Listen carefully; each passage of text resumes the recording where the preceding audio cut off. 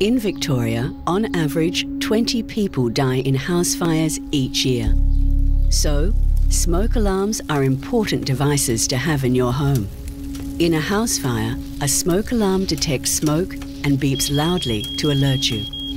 This warning allows you time to act and get out of the house before it becomes too dangerous. Smoke alarms in your home will not call the fire brigade for you. So, you need to escape to be safe, then call triple zero so your local fire brigade can come to help.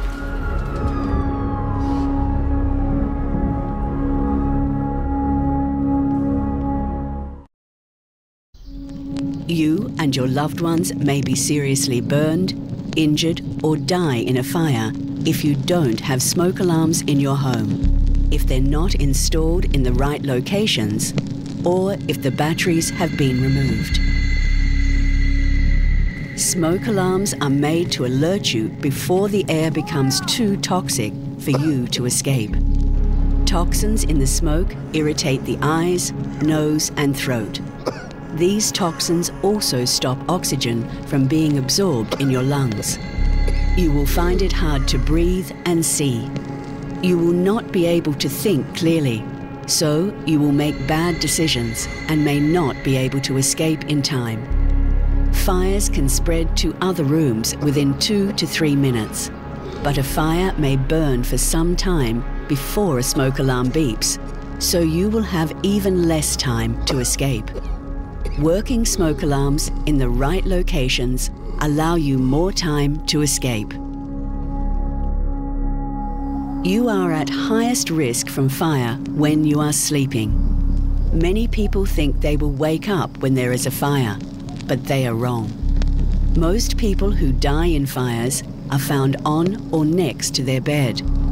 During sleep, you lose your sense of smell, so smoke won't wake you up. Carbon monoxide in the smoke, also known as the silent killer, will put you into a deeper sleep. Smoke will kill you before the flames do. Some people think the smoke alarm outside their bedroom is enough to alert them to fire.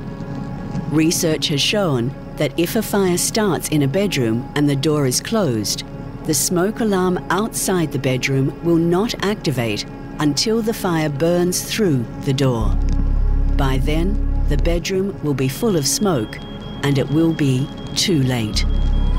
Smoke may not wake you, but a working smoke alarm in your bedroom will.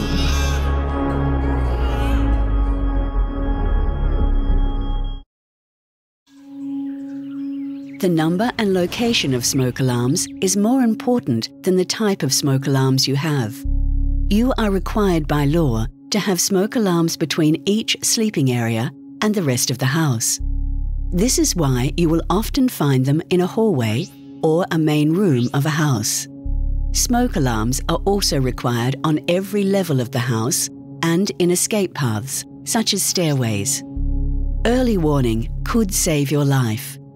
Victorian Fire Services recommend that you also have smoke alarms in lounge or living areas and areas where people sleep, such as bedrooms.